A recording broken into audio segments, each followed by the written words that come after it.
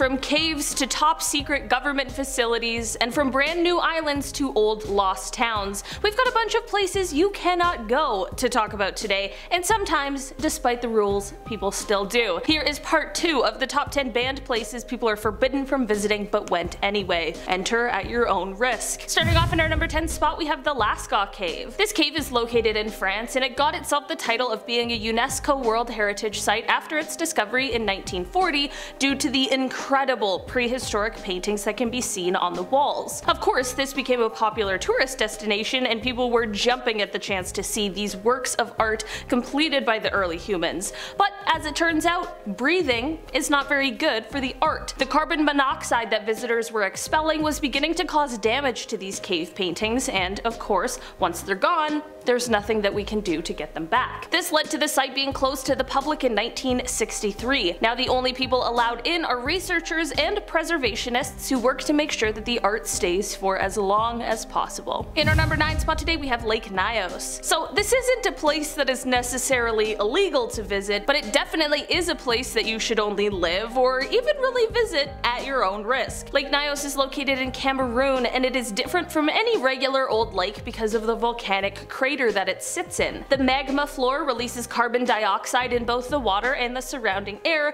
making it a less than ideal place to live and breathe. Usually the CO2 just dissipates into the air, mostly harmlessly, but in 1986 there was a limnic eruption that caused a catastrophe. A limnic eruption is very rare, but it's what happens when dissolved carbon dioxide suddenly erupts from lake waters, which then goes on to form a gas cloud. This resulting gas cloud is extremely dangerous and is capable of displacing the oxygen in the area, which of course is lethal to any living thing, which is exactly what happened in 19 1986. This limnic eruption caused a noxious cloud of more than 1 million tons of CO2. This ended up taking the lives of 1,700 people in the area, as well as 3,500 livestock, which made it the first known large-scale asphyxiation caused by a natural event. Despite the threat of another eruption, as well as the lake's weakening walls that could result in a massive flood, people have resettled the area around the lake. I'm not gonna lie, I wouldn't risk it, which makes me wonder why these people chose to. I'm sure there's there's gotta be some reason though. In our number 8 spot today we have the Svalbard Seed Vault. Deep within a mountain that sits in between Norway and the North Pole sits this vault that is more than 320 feet inside. This vault holds a massive collection of seeds. Like we're talking about 890,000 different preserved seed samples from nearly every country in the world. The vault that holds these seeds is made to withstand both man-made and natural disasters,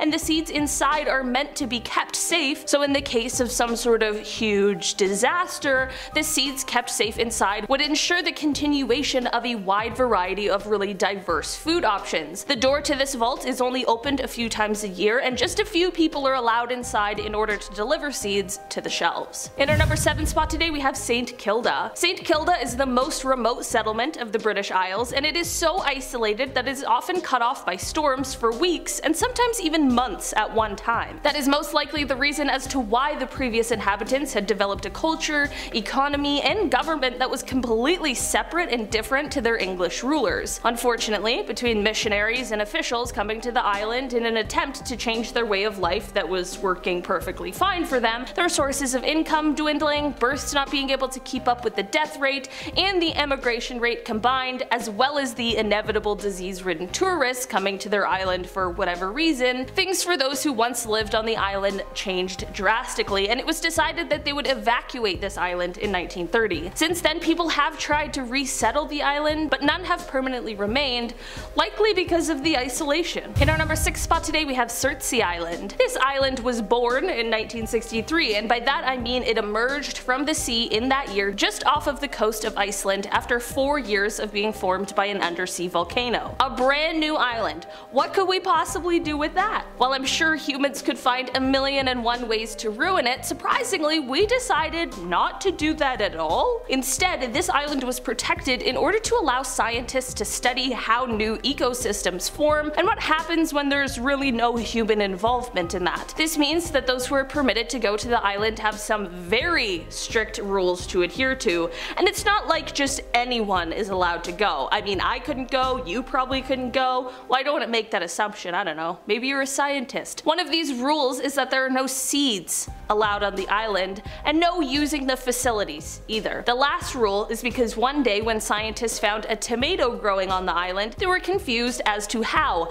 Turns out somebody had gone number 2 not too long before, and thus a new poop tomato was grown from the ground. Kinda gross, kinda cool, not gonna lie. In our number 5 spot today we have Centralia. Located in Pennsylvania, this town is often referred to as one of the gateways to hell. That is due to the fire that spread in an underground coal mine underneath the town in 1962. Despite the years it's been, the fire still blazes underground, which causes the smoke and poisonous gases to rise up from the ground, not only causing an eerie appearance, but also a very serious health hazard. The temperatures can be so hot in areas that one guy's backyard was measured at 626 degrees Fahrenheit. Sometimes the fire will also burn through supports underground, which in the end turns into a sinkhole. This has caused pets, wildlife, and residents to unsuspectingly get swallowed up into the hole. In 1984, the US government ordered a total evacuation of the town, but a handful of residents refused to leave and even went to court over the right to stay in the town for as long as they live. In our number 4 spot today we have Pine Gap. This location is in Australia and it is a heavily guarded and top secret facility. It is said that Pine Gap is actually a joint defense facility between the Australian and the United States governments. It is said that it is operated by both the CIA and NSA, that it is strictly off limits to anyone not involved or given high security clearance. Apparently, at first this place was said to be a space research center, but now it has become abundantly clear that it is actually used to support the United States in both intelligence as well as military activities. If someone decided to trespass into this top secret area, it would undoubtedly put them in a whole world of trouble, kinda like an Area 51 deal. In our number 3 spot today we have La Oroya. Located in Peru, this town has a population of 30,000 people despite the metal smelter contamination that has been seen since 1922. The smelter closed in 2009 after the company that ran it declared bankruptcy,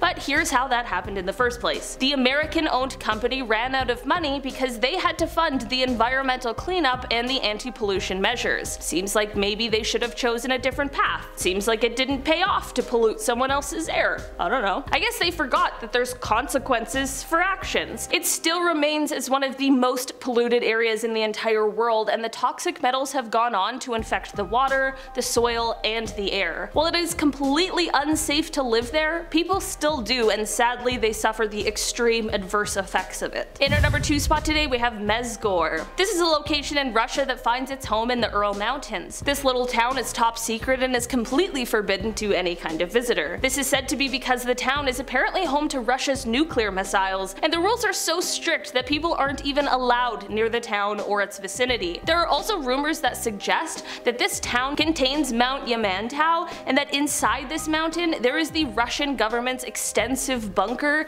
making this just another reason why this town is completely cut off to anyone who isn't a very high-ranking official. In our number 1 spot today we have Wittenoom. This place in Australia is the home to a former blue asbestos mine, which is exactly what makes it one of the most contaminated places in the country. I mean this literally. The roads were paved with asbestos, even after the mine shut down in 1966. While this city was once the home to 20,000 residents, the population dropped significantly after the deaths of 300 former mine workers from mesothelioma. Apparently it was decided that it would be too expensive to clean up the town, so instead the government just declared it unfit to inhabit and took it off the maps. While most people have since left the town, it is said that three residents refused to leave and still remain in the almost completely abandoned town. Alright guys, that has been our list for today. Thanks so much for checking it out. I've been your host today, Olivia Kosolofski, and I'll see you next time. Bye!